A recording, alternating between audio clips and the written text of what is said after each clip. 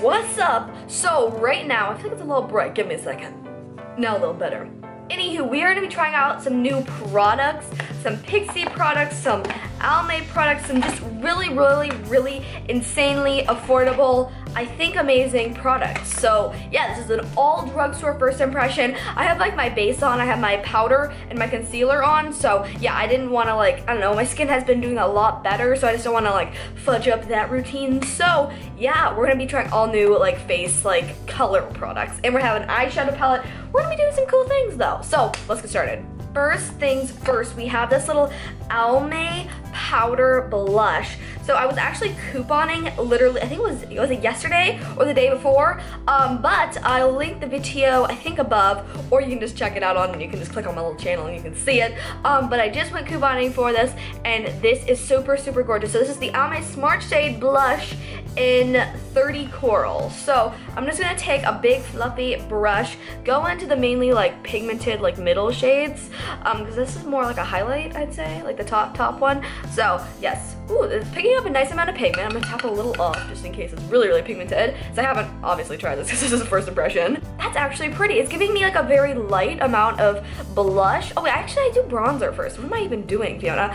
Um, anywho, let me just finish up the rest of this. Um, ooh, that's pretty. I think I'm actually gonna apply a little more after I do my bronzer because I always do bronzer first. Well, after I do my base face, you know, concealer and powder. So I'm gonna take my Frilliance Perfect Bronzer Brush. This is literally the perfect bronzer brush. It never fails my bronzers. So I'm gonna be taking this Physicians Formula Mineral Wear Bronzer in the shade Light bronzer. So um, yeah, I was thinking like, you know, I should probably get medium, but then I was like, wait, Fiona, you know what? I don't want too tan of a shade because sometimes I feel like if it's too dark, it will look too like intense and chalky, and it's a little gross. So, is it gonna come out? Is it gonna come out? I don't know. I don't know.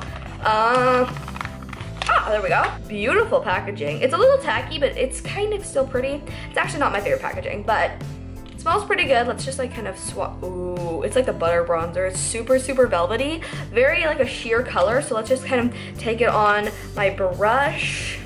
Ooh, that's a nice pigment. So I'm gonna tap a little off. I'm gonna go on the temples. Let me make sure there's no moisturizer left. Nope, okay, ready? Ooh, that is so pretty. Oh my gosh, that is gorgeous. Oh wow, that like, do you see that? That's like a transformation of tan, or no, white to tan. Ooh, that's pretty. Make sure you do not have any um, like tackiness on your like bronzing areas. So like on the outer part of your face, usually you'd think not to set there, but make sure you do because otherwise it's gonna be kind of tacky and then the bronzer will apply kind of patchy. Um, I just wanted to let you know that. So if you haven't set your foundation or your concealer that you put on the outer perimeter, make sure you do that before you apply bronzer because otherwise it will be really patchy and sticky. So yes, a little tip, but this is looking really nice and bronzy. It's looking pretty natural, um, a little not natural. I wish it was a tiny bit lighter, um, but still super, super, super pretty. Um, but I'm so far liking it. I feel like it's a tiny bit patchy on my forehead, just a little. Yeah, you seen that? But overall, not too bad. It's not my favorite bronzer I've ever tried, but not, not too bad. Yeah, I just, I feel like it's definitely a little patchy on the forehead. I definitely will have to say that. Don't you agree? A little? I'm gonna actually apply a little more of the Almay blush because I didn't, I don't know what I was doing. I was going out of order, but now I like it. I feel like this is actually really, really pretty. It's subtle, but pigmented, and I feel like it's nice and buildable. And um, it's not going on patchy, which I do really like because I actually tried one like yesterday.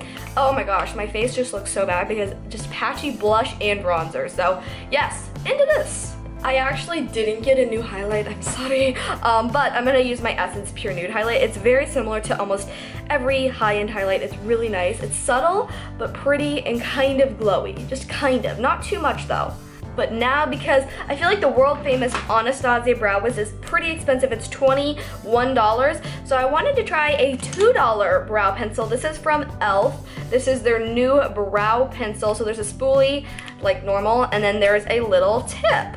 Um, it's actually not too bad. It's pretty small. I feel like it might I don't know, it might be kind of bad, it might be really good, we'll see, but I got the shade, uh, there's I think there's only actually one shade, which kind of sucks, but it's in neutral brown. So I'm just going to brush my eyebrow hairs up with this spoolie. Let me know if you want me to do like a natural eyebrow routine and then like an intense one. So like three eyebrow looks in one.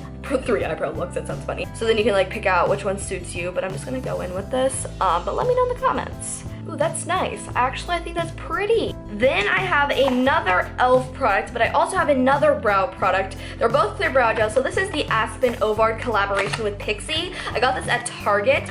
Um, it's a pretty good deal. I believe this was $14 for the lower lash mascara and the clear brow gel. I think I'm gonna go in with the clear brow gel on one eyebrow and then the e.l.f. clear mascara and brow gel on the other eyebrow. I'll, I'll keep you posted. So on my right, your left eyebrow, I'm gonna use the Pixi eyebrow gel. Let's see how this goes. I like a lot of hold and separate. Ooh. I don't know if I like that. I feel like it just like completely crumbled. Do you see how that, my, my eyebrow looks all uneven? Don't know if I'm liking this. Ugh, look at that, it created a huge patch. Oh my gosh, no. Little weird, but not too bad. Uh, then I'm gonna go in with the little clear mm, brow gel from e.l.f. So thumbs up for e.l.f. I'll have to say, I really like this one. Not so much on Pixi. Then I'm gonna go in with a eyeshadow palette from Pixi. This is their Copper Peach palette. Um, hmm, it looks pretty interesting. I believe this was $16.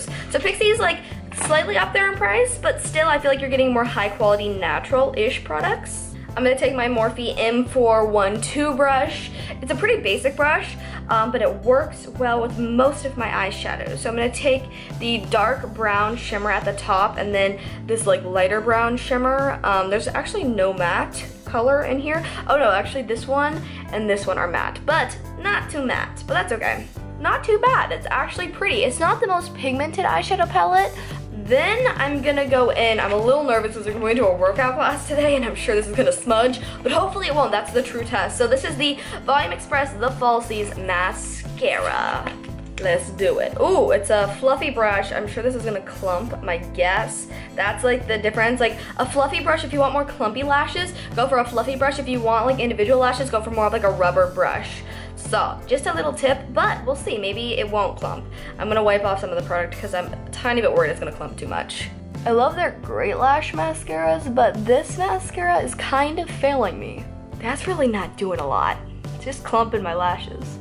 Yeah, this mascara is like really not doing a whole lot. Um, yeah.